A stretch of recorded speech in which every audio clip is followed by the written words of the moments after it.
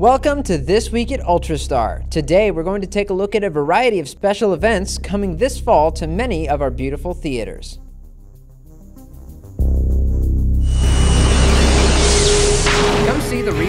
Live concert of one of the most progressive and successful British rock bands in history. Queen Live Bohemian Rhapsody will be playing exclusively at our Surprise Pointe, Mission Valley, Mary Pickford, Mission Marketplace, Lake Havasu, and Tower Temecula locations, as well as our Ultralux locations in Scottsdale Pavilions and Anaheim at Garden Walk playing on September 20th at 7:30 p.m., the 23rd at 2 p.m., and the 27th at 7:30 p.m. Tickets on sale now.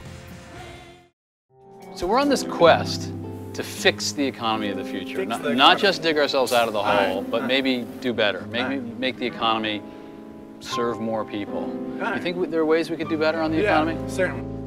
In Fixing the Future, our host and tour guide, David Brancaccio, takes the viewer across the country to small communities that are using innovative techniques to grow their local economies in the midst of a struggling national economy. Exclusively at our Mission Valley location at Hazard Center, Wednesday, September 19th at 7:30 p.m. Tickets on sale now.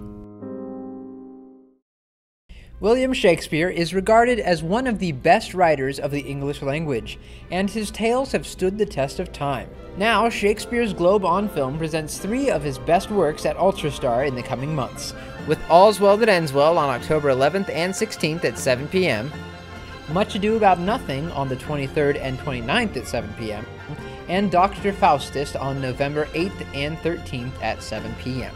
Just check our website for full location listings and online tickets. Thank you for watching This Week at Ultrastar, and join us again next week for Resident Evil Retribution and Finding Nemo in 3D. And with Ultrastar, I'm Joe, and thank you for choosing the home of pure digital cinema.